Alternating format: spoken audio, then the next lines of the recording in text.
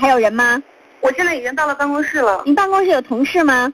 有，但是都是女生。没关系，跟那个女生说一下，你说那个呃，我想去理一个火山爆发型的发型，你们觉得怎么样？而且是夏威夷的。啊，他打过来，他打过来。了，什么乱七八糟的，你们赶快来啊！您男朋友打过来了，姐打过来了，嗯，接了，准备好了，演的像一点儿。嗯，喂，喂，老公，哎，我刚才从招聘会回来了。哦，那个，我跟你说一说一个事儿，啊，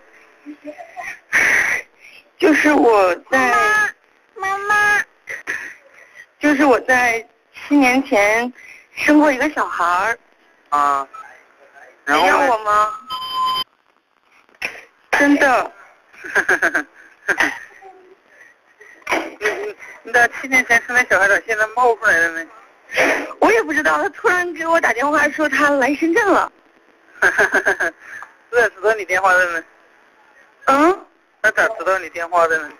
我也不知道，反正他就是来深圳了嘛。这挺恶心的，他妈这上厕所了，一个电话接一个电话打。老公不要这样说。啊？好臭啊！这个，我受不了了啦！啊，你这位先生怎么回事儿？你上这怪不得刚才没接电话。就是人正当的这个这个该什么样的时候了？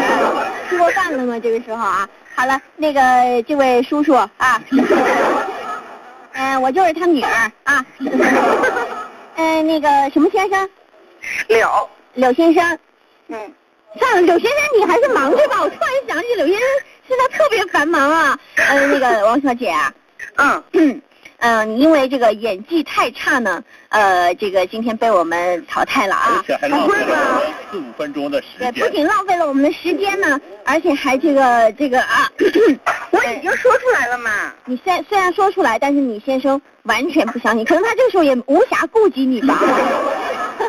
好了，谢谢王小姐啊，王小姐，呃，这个音效现在非常的适合你和你先生啊，共同来享受啊。啊，谢谢我们的王小姐，因为演技太差被淘汰了啊。老板娘，今天我们能用一首圆满的歌曲来结束今天的节目吗你？想听一首完整的歌呀？我给你唱呀。太阳光亮亮，天气常常长，花儿喜欢了，我们的花年康。智商直接变成了五岁啊啊七岁七岁啊，嗯、同时呢，我们也希望天下有情人都能够终成眷属。呃，其实呢，玩笑呢，有的时候在我们节目当中啊，大冒险当中可以呃努力的开一开，平时呢就不要随便开，因为你们把握不了我们这样的火候的啊。好了，谢谢你们，明天同一时间，握好了，它是外焦里嫩；把握不好，它就烤糊了。明天同一时间不见不散。我就是外焦里嫩的老板娘呀，不对，外嫩里嫩的老板娘呀呀。峰哥就是外嫩里糙的峰哥啊，那就只剩下半生不熟的那你就外焦内焦。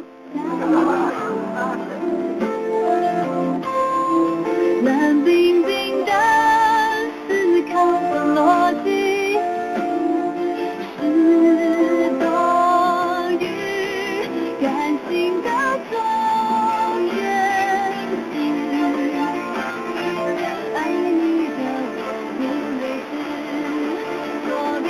每天早上啊，这个起来呼吸一下新鲜空气啊，觉得确实很有利于我们的这个肠道的健康啊。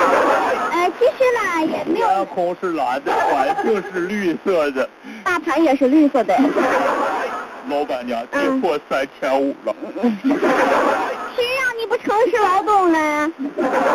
这也是城，这是城市投挣资啊钱想着投机取巧，这样的事情能维持多久啊？我早就跟你说了，老板娘我不懂经济，不懂股票，我靠诚信劳动、诚实赚钱。中国人寿宣称将减持股票成为压垮骆驼的最后一根稻草，三千五百点瞬间急过，跌破三千五。这个新闻啊，今天我们来看看今天的新闻。为什么这么周建荣自称与平江假华南虎不同，有新虎照要公布。看来消息无论准确与否，都会给舆论界引发一个新的地震。哎，然后呢，就造成了今天沪深股市的狂跌。那是不可能的，这还是有经济规律在内的。啊，不是因为这个才狂跌哈，但是啊，这个周正龙和《重庆时报》呢，他有一段非常猛料的对白啊，我们一起来看一看《重庆时报》的女记者问：嗯，还有没有公布的护照吗？呃，有倒是有，但是绝对是没有公布过。但是这个老虎的这个周正龙先生，你讲话怎么那么像《每日搞事报》的搞先生啊？因为我接触的媒体比较多了，嗯所以说呢，我的声音要适合媒体，让你们也听得懂，让大家也听得懂。那老虎的形象和姿态都有变化。啊如果你看到了，你就会信服我的观点。那为什么您不公布这些照片呢？呃，因为版权问题，这个照片呢是有版权的。想问一下，这批新虎照它共同都一共有多少张呢？几张到几十张，这个我倒没有留心，也没有认真的数，到底是几张还是十几张？呃，没有数过，反正就是有了。最近还有记者上我这找出这个上门来找你吗？你的新虎照透露给了其他人没有呢？最近，呃，找电，脑有没有被拿去维修呢？呃，我不用电脑，因为我不懂电脑，我的博客都是别人捉刀代笔的。哎，找我的记者倒是少了很多。美国的一家这个大报社的记者前几天来过，向我购买新虎照。那么美国记者向您购买虎照，能告诉我们更详细一点的信息吗？这个说起来话长，嗯前因后果我就不跟你细说了，嗯反正我没卖。那对方出价多少钱一张呢？五百块，估计是美金，以当天的汇价为准。那能够告诉我，呃，这个这家美国大报社它的具体的名称吗？我们想找他们谈谈。呃，这个外国记者这个名片啊，没在我手上。啊另外，这个他们这个报社的名称也比较长，另外是英文，我就一时记不起来了。嗯嗯。不过呢，只要你们到我这里出具详细的手续证明，我会考虑公布给他们，给你们看的。另外，这个林业厅啊，又要我公布新的虎照。哎呦，林业厅也找你公布新的虎照啊！哎，我已经这个将新虎照交给林业厅了，具体是哪的林业厅，呃，你自己去打听吧啊。，那我要跟那个林业厅联系一下。喂，林业厅的关老师吗？呃呃，是我是我，啊，关老师，您作为陕西省林业厅信息宣传中心主任啊，那您说一下周正龙，他说他有几张没有公布的虎照，又交给了你们，有这样一回事情吗？我呢没有收到周正龙什么那个很像搞清楚的。但是他的一些胶卷、胶呃胶片呢，是在我们这里，还是早早早就你能不能。读的时候别读错呀？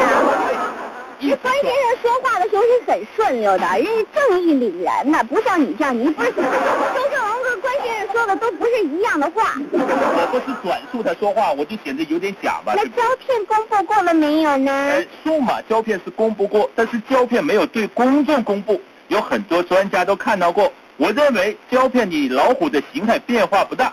当然，从周正龙拍摄者的角度看，在当时那个场景，他认为是有变化，也是正常的。嗯，那鉴定什么时候要出来呢？呃，你说是对他的视力鉴定，还是这个智力鉴定？我觉得他的智力首先需要鉴定一下。这周正龙，哎啊，东北虎和华南虎，它是一个地方的虎吗？另外，圈养的老虎和野生虎，它也是两码事。这马戏团的老虎会表演节目的老虎，能跟那个野生的华南虎比吗？有这个我都一点是肯定的，嗯他们都吃肉。呃，这个专家组正在这个镇平处调查，但是这次调查，调查和鉴定是两回事情。啊，也就是说呢，啊，对周正龙以及有可能参加造假的这个人群呢，要进行调查，只要能够找出造假的证据，还原造假的过程，自然也就可以找到照片中那只虎的来龙去脉。不管那个是华南虎还是东北虎，不是不管它是马戏团的虎还是野生的虎，只要找出这只虎，那这只虎就出名了。这这老板娘看来这新闻好像是真的，但是这事儿指不定是真是假，还是瞎说的。反正呢，我觉得现在人说话不能有说假话啊，大家任何事情呢都要有凭证。但是周正龙么一吵呢，老虎火了啊，但是老虎他可以去做代言嘛，对不对？但是是周正龙呢，我觉得也火了。以后啊他如果失去工作啊，倒是有人会去找他工作啊。比如说呀，什么某报可以做一些 PS 啊，啊，这个某网站啊，做一些这个 PS 的形象代啊。我们可以请他呀，老板我们。请他做什么呀？你看他摄影技术好，嗯他是个照相的，嗯虽然是个农民。我不要摄影技术好的，我也不要高清的。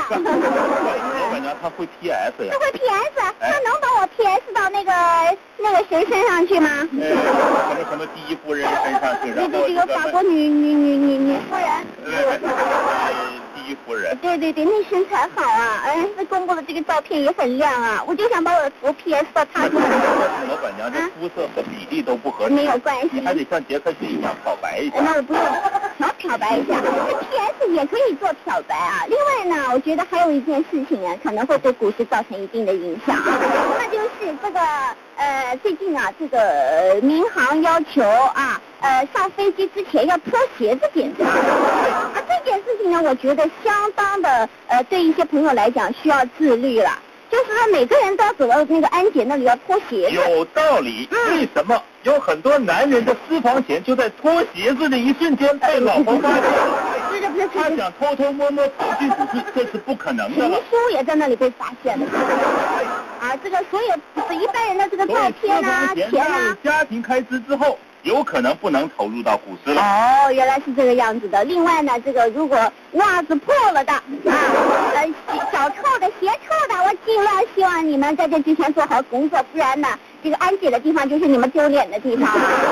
而且老婆如果走在你后面，肯定啊不愿意让别人发现你俩是一对啊，说我不认因为丢识这个人。不只是一个人的脸，丢的是全家的脸。呃，所以呢，这件事情呢，我们也也这个希望大家引起重视，不要因为大家的脚臭的现象影响了股市啊，呃，影响一下这个中国足球吧。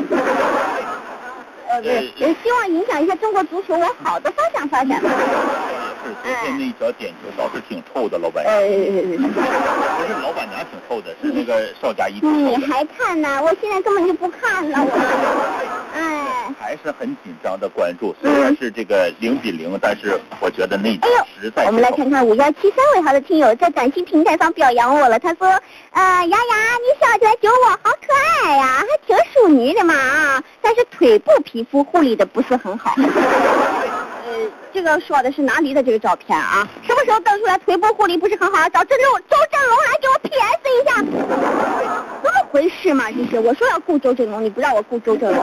对，老板娘是我要雇你不让雇。让人这个要要要要这个需要他的时候到了，是不是啊？另外呢，还有朋友们说，昨天我们这个跟呃很多的呃棒棒糖男神一起聚会，后来呢在呃金光华广场附近也看到了他们啊，确实是特别的帅。呃，当时现场是水泄不通啊，一泻千里啊。啊，所以呢，也希望各位呢下次再见场合啊等等一。下，老板娘，水泄不通，他怎么一泻千里的？他先开始不通啊，后来吃了三黄片就一泻千里了，吃了八豆也可以啊啊，不是这个不通呢，它就要通，通则不痛，痛则不通。然后呢，这个你还需要这个做一些疏导的工作、疏散的工作，你现场才能够通。人生是这样，人体是这样，环境是这样，交通堵塞也是这样。